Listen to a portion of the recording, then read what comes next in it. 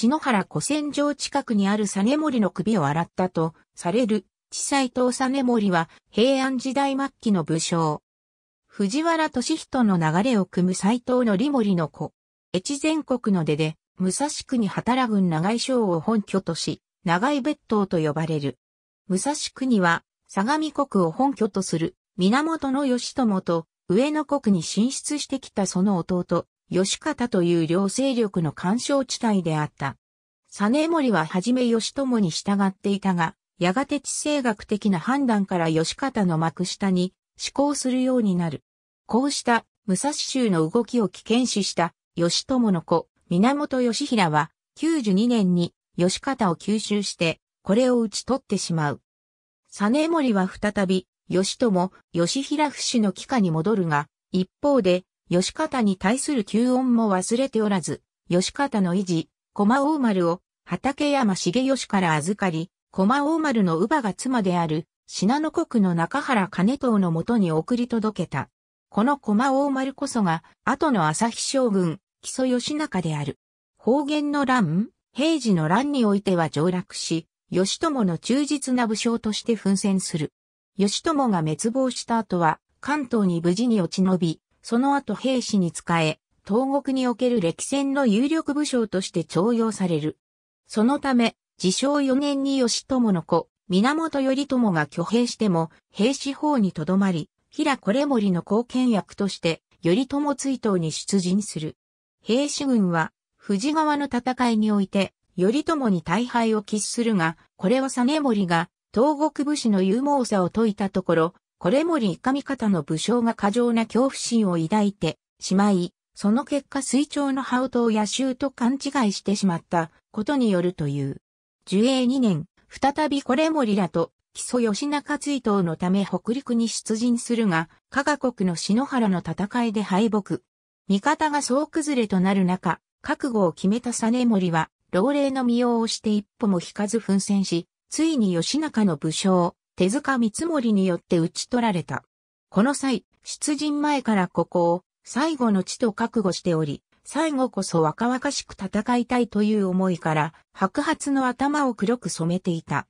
そのため首実験の際にもすぐには実森本人とわからなかったが、そのことを、樋口金光から聞いた吉中が首を付近の池にて表せたところ、みるみる白髪に変わったため、ついにその死が確認された。かつての命の恩人を討ち取ってしまったことを知った吉中は、人目もはばからず涙に無線だという。この篠原の戦いにおける斎藤実森の最後の様子は、平家物語牧第七に、実森最後として一章をなし、昔の主外神話、錦のたもとを海景山に翻し、今の斎藤別当実森は、その名を北国の地股に、用具とかや、口もせぬ空しき名のみ止め置いて、ムクロは腰地の末のゴミとなるこそ哀れなれと評している。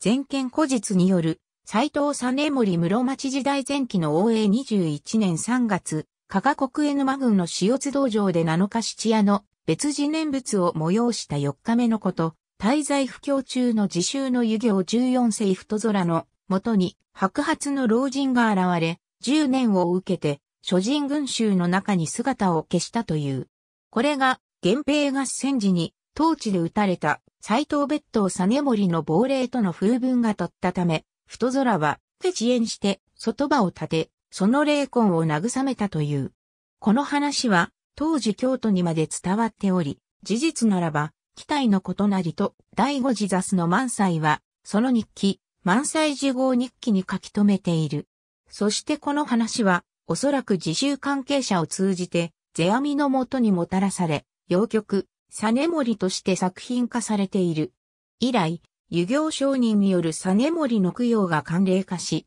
実森の兜を所蔵する石川県小松市、大野太神社では、商人の代替わりごとに、エコーが行われて、現代に至っている。松尾芭蕉も、奥の細道の途上で小松を訪れて、実森を忍び、今も、大野太神社に現存する実森の甲を見て、無残やな甲の下のキリギリス徳を読んでいる。寛延二年初演の人形浄瑠璃、源平布引き抱きは、三段目切りで、青年時代の実森が幼年の手塚三森と対面し、将来の対決を予言する場面が特に有名で、実森物語として知られている。